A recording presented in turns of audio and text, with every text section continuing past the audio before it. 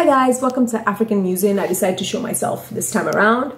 Um, okay, so I'll first tell you, I would tell you to like this video, to subscribe and to share it with your friends, but you haven't actually watched the video. So watch it. If you like it, then I'll ask you to like it and subscribe and share it with your friends. Okay, so I want to talk about why I wrote the book Apostle Paul was a feminist and why I published it, right? So I published my book Apostle Paul was a feminist, volume one in 2021 but the reason I wrote the book starts in 2012, 2013. So around that time, I read an autobiography by an Egyptian lady. Now, I can't remember her name, I can't remember the book, the, the name of the book, but I just know the story, right? Because it's a part of my life now. So basically what happens in the story was, it was an autobiography. And this Egyptian lady, she was born into a Muslim family. And from a young age, she like really had a deep desire for God, to get to know God and who he was, who he is. And so she went to her dad, and her dad was like, you know, really elated, really happy that, you know, my child wants to know about God, you know, she wants to follow down the right path. So the father tells her, tells her, read the Quran, read the Hadiths. So that's what she began to do. She began to read the Quran, she began to read the Hadiths. And as she began to read it, even at this at a young age, she began to feel uncomfortable with some of the things that were written about women in the Quran. And um, she would go to her dad and be like, Dad, you know, why does it say men can marry four wives, you know, and women can only marry one husband? Why? And her dad was like, Listen, I married one wife and I'm happy. That was just how it was back then and all. And, you know, she'd be like, Okay. And then again, she would come across something that she felt devalued woman. And she'd go to her dad, and the dad couldn't really explain it to her. And she kept reading and kept getting uncomfortable and uncomfortable. And eventually, she read something in the Quran and she's like, Okay, that's it she can no longer follow this religion. So she stopped being a Muslim. But in Egypt, it's illegal to change your religion, whether you're Christian or Muslim, right? So, of course, she didn't tell anyone that she had changed her religion. She just, I, am sure she also went to the mosque, she did everything, but in her heart, she was not a Muslim. She did not follow the religion anymore. Okay, so she got married, she had three kids, she had two girls and one boy. The, the youngest of her children was a daughter right? Um, and so around after she got married um, and the kids were a certain age, she, uh, her and her husband separated, and they were basically divorced, but not on paper, right? So eventually, she gets a job where um, I think a, a teaching job, and in this place. There are a lot of Coptic Christians. Now, Coptic Christians are the Egyptian branch of Christianity, right? They're like the ancient branch of Christianity in Egypt right?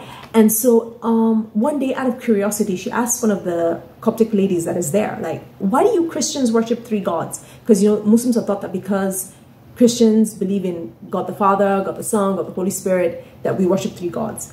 Anyway, the Christian lady was like, uh, we don't worship three gods. And the Christian lady was really emphatic, like, no, we don't worship three gods. What are you talking about? And so this lady now is sort of, you know, curious about Christianity. And so she begins to now search up more about Christianity, and eventually it all culminates to her having a vision of Jesus. And um, yeah, she becomes a Christian. Now, I just want to say something, um, which is an aside, but I think it's interesting to, to note, right? So, um, when she had the vision of Jesus, right, the Jesus she saw had blonde hair and blue eyes, and she was like, "Oh my gosh, she was so beautiful." And when I when I read that part, in my heart, I knew that the reason Jesus appeared to her with blonde hair and blue eyes is because she views blonde hair and blue eyes as the most beautiful features ever, right? Because, you know, in Songs of Solomon, right, um, the bride there, which represents the church, um, speaks to the groom, which represents Jesus, and says, You are the fairest of ten thousands, right? To my, I think it says to my soul, but I'm not sure exactly, but I know it says, You're the fairest of ten thousands. And if and means the most beautiful of ten thousands, right? So if Jesus is the most beautiful, right? when he appears, he's going to appear to you as what you consider the most beautiful, right? So some people, um, how they view Jesus is maybe he's the most handsome with dark hair. So when Jesus appears to them, he's going to have dark hair. But anyway, that's an aside. So anyway, she has this vision of she has this vision of Jesus, and um, she becomes a Christian, right? And it, it comes out somehow. It comes out that she has converted to Christianity, and you know, like I said, it's illegal. So she was going to go to jail but she manages to flee to the Netherlands. I think she got like um, asylum there. She fled to the Netherlands and she fled with her youngest daughter. And so anyway, the years went by, her youngest daughter grew up, got married, all her kids grew up. And sometimes her son would come to the Netherlands to visit her, right? And uh, this son would be like trying to pressure her to come back to Islam, like, mom, you gotta come back, you gotta come back to this religion.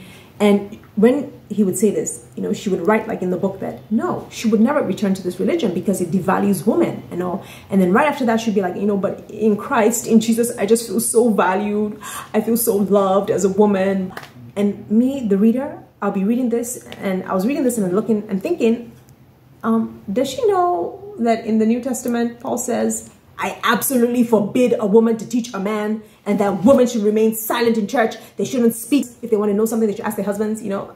And so I'm thinking, does she know about that? Because if she knows about that, I wonder if she's going to feel so valued at all. So anyways, I finished reading the book and I'm not, I'm not settled. I, I feel really uncomfortable. And I feel really uncomfortable because here is this woman, right, who was born into a Muslim family, but because she felt the religion devalued her as a woman, she was willing to give up her religion, right? Because of her sense of worth as a woman. And you know, it's very easy to point at, you know, Islam and other religions and be like, oh yeah, they look down on women, they put women down and all. But here I am as a Christian with stuff that is written in the New Testament, you know, about how women shouldn't teach, blah, blah, blah, which also devalues women. And I haven't taken any stand. I haven't made a stand. But this lady was willing, at that young age, she was willing to take a stand for her sense of worth as a woman. So I feel uncomfortable. And I feel like, you know, I too need to take a stand for my sense of worth as a woman, right? And now, so what I did was this I went to God, right? And I'm so grateful I went to God. I went to God and I was like, listen, God, okay, I'm not going to argue with you. I'm not going to try to find a way around this, but I'm going to read the New Testament from Matthew to Revelations. And when I get to any verse that I feel puts women down, I'm just going to ask you, okay, Jesus, what did you mean to say here? Because, you know, the Bible is, I consider the Bible the word of God. And what is said in there is basically what God is saying. So even if Paul wrote it, right, um, it is God speaking, you know, right? It's Jesus speaking because, you know, the Bible, um, Paul even says that um, all scripture is God breathed, right? So it's actually God speaking to us. So I'm like, okay, God, I want to know what you think. I want to know what you meant by, you know, I absolutely forbid a woman to teach a man and that women should remain silent in church. I want to know what you meant by that. Okay, and whatever you say, whatever you tell me, I'll accept it. But if it is something that puts women down, I'll accept it. But I will not follow you anymore.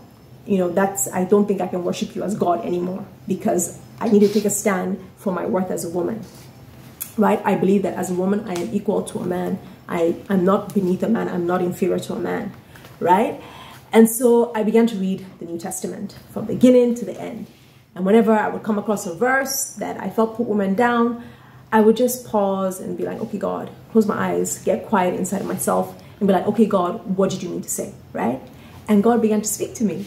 And okay, I'm still a Christian because I didn't leave my religion because I, God showed me that no, He does view women he did create women and men as equal and they are equal in his sight and all and so that was really really where i got the the you could say the the knowledge that apostle paul was feminist or that rather god was a feminist okay now the reason i decided to write the book was because you know when i got all this knowledge I would go to some woman and be like, you know, oh my gosh, you know, Paul, he didn't mean it that way. He's not a misogynist. You know, he actually views women as, as equal to men. What you saw there, the translation, it doesn't really do justice to it, you know, and I'll go on and on. And a lot of women just, they didn't want to hear me. They're like, one lady was like, oh, please, Paul was a misogynist, okay? Just, I don't want to hear it and all. And um, another woman, well, she was like, no, what do you mean he didn't say this? He said it and uh, you know that's what it means that's that's it and all and i just felt so disappointed you know and you know and to explain to them the knowledge i had you know they would have to take time to listen to me.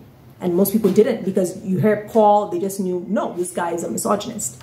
So i eventually decided you know what i'm going to write this book because um, i have a lot to say but nobody wants to listen. So i'm going to put it into a book form so that if i ever have um, if i ever need to tell someone that no apostle paul was a feminist or that no this is not what he meant i can always just refer to my book like you know you can read my book and all. So that is why I wrote Apostle Paul was a feminist volume one. Now the book doesn't touch on everything um, that I learned. That's why it's called volume one. Um, but it does touch on the book First Corinthians and all. So if you want to read the book, the links are in the description box.